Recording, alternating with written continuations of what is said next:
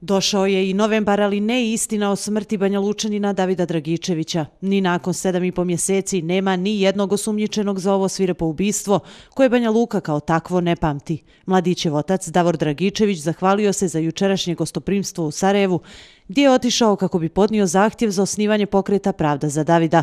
On je istakao da i tamo, kao i ovdje, svi čute u ubistvu dva mlada momka, Davida i Dženana. Šute tužitelji, nek šuti.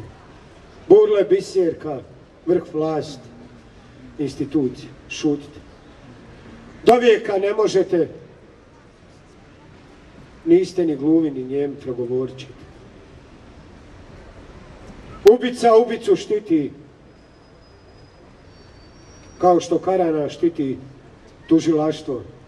Darko Ilić, koji ga gura na konferenciji, ubica svoje žene, mog djeteta, Čulum, Lukač, svi sa preskonferencije i vlast koja stoji iza njih. Dragičević je rekao da treba biti i dalje istrajan u pravnoj borbi za istinom i pravdom, kroz djelovanje navedenog pokreta, koji će, kako je najavio, biti formiran i u Beču. Nećemo se baviti politikom za sada, ali ćemo se baviti ekonomijom. Zaposlit ćemo i zapošljavat ćemo ljude kojima treba posao.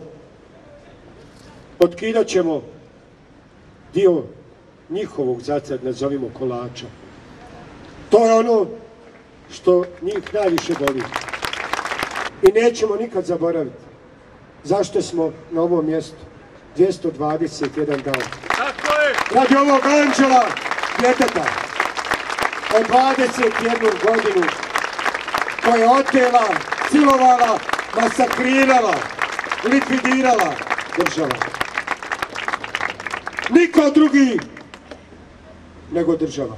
U tužilaštvu ljudi imate dva zlikovca, zločinca, dve sotone. Dve sotone koji sutra ujutru opet idu na posao. Dalibora Vreću iz Foče i Želimira Lepira iz Srpca.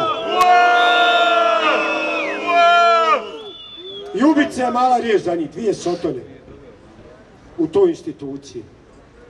Da ne idemo dalje. A za Burlu i Biserku izlišno je trošiti svaku riječ. Otac monstruozno ubijenog mladog Banja Lučanina poručio je da će samo sa građanima koji su uz njega 221 dan i politički se angažovati kako bi obezbijedio bolji život običnom čovjeku. Iako se skup organizuje svakodnevno više od sedam mjeseci, broj onih koji dolaze da podrže oca kome je sin mučki ubijen sve veći.